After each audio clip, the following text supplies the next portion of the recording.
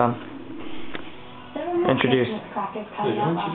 This is Chris Fox, and he's going to hit uh, this, Mark- this beautiful Marco painting. Uh, let's have a look at it. 2002. Look, let's have a look at the painting. It's beautiful. On uh, Daniel. See, see the cat in the corner? It's beautiful. And um, what, what have I always liked? I've, I've always liked the ship. I've always liked I've the ship. liked the ship. To be fair. We, we no, no bottom bit, but it's just top. So, is that ship going to collide with your head? I'm, I'm hoping.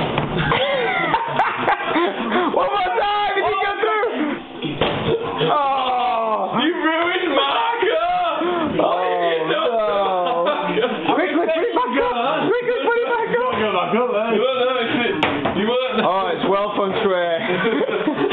There we go. quickly, sit down quickly, like you know it's happened. Fine, it's fine. You've started it. I like, I like Marco.